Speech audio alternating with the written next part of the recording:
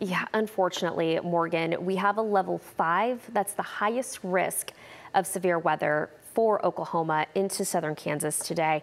And we don't see these often. In fact, the last time one of these was issued was March 31st of 2023. Mm. And in my career, I've only seen this happen about 10 times.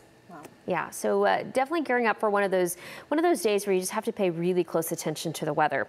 So we are kind of on the southern edge of that threat, and we have a strong cap in place. We talk about a cap very often in the springtime, and this is really going to limit any thunderstorm production. However, if we do happen to overcome the cap, which right now it does not look likely, we could see an isolated storm or two with damaging winds and large hail. The threat is highest the closer you are to the Red River. I'm going to pan out though and show you where that level five is. It does include Oklahoma City, just south of Wichita. It includes a big stretch of the I-35 corridor in Oklahoma.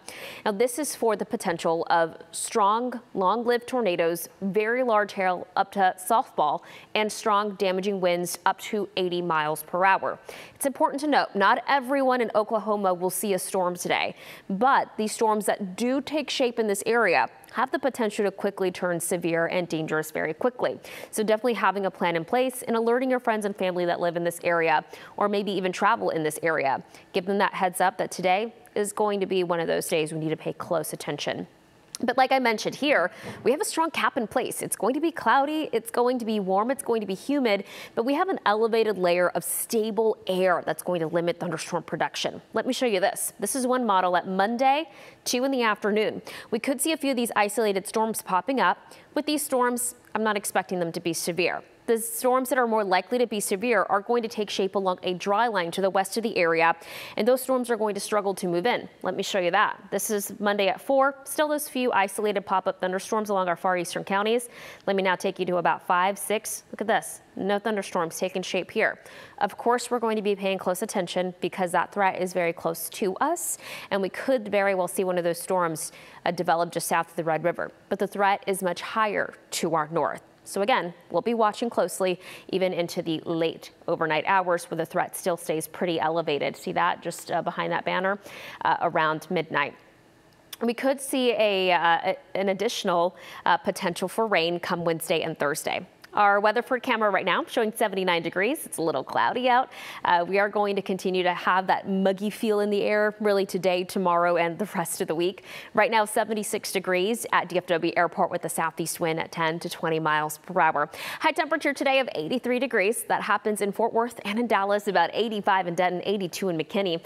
Some temperatures get very close to the 90 degree mark along our western counties. I think areas in the Metroplex will get there come Tuesday and Wednesday. For us, We'll likely see about 89 degrees. I'm not going quite 90 yet until Wednesday. That's close to 10 degrees above what's considered normal for this time of the year. Factor in that humidity, it's going to feel like it's in the upper 90s come Wednesday.